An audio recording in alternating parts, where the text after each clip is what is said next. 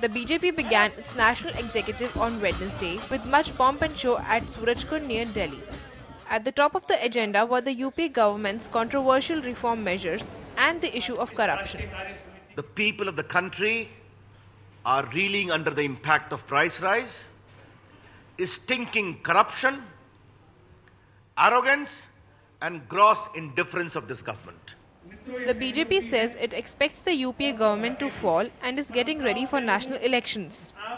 During Wednesday's meet, its leaders were unsparing in their criticism of the Congress. Dr. Manmohan Singh, you are the Prime Minister for the last eight and a half years. Shrimati Sonia Gandhi, you give the political authority to Dr. Manmohan Singh. How can you fasten the consequence of your own bad governance and corruption upon the principal opposition? Behind the tough rhetoric, what was clear was that the BJP had chalked out its strategy against the government. BJP will focus on three main issues. The issue would be corruption, FDI in retail, and hike in diesel prices, and also capping of gas cylinders. There is a thinking in the party that uh, by covering these three major issues, the BJP will be able to address all the voters.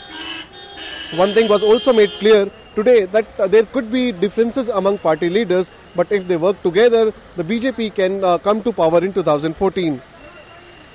This is Sahil Makad for Mint.